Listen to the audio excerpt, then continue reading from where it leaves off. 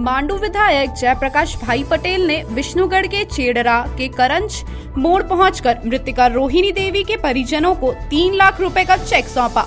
विदित हो कि पिछले वर्ष 22 दिसंबर 2020 को विष्णुगढ़ करंज मोड़ में सरयू साफ़ की पत्नी की मौत एक मतवाले हाथी द्वारा कुचलने से हो गई थी।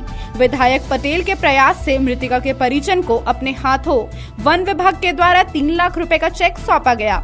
इसके अलावे पटेल विष्णुगढ़ कसेरा मोहल्ला पहुँचे, जहाँ डोमन प्रसाद की आकस्मिक मृत्यु हो गई थी। मृतक के परिजनों से मिलकर अपनी संवेदना व्यक्त कर कहा कि मैं हमेशा आप सबों के दुख सुख में साथ खड़ा रहूँगा। मौके पर उपस्थित ग्रामीणों ने विधायक से फरियाद करते हुए बताया कि सरस्वती पूजा विसर्जन में घटित घटना में कई निर्दोष लोगों का नाम शामिल है। आप अपनी देखरेख में लोगों को बचाने का प्रयास करें।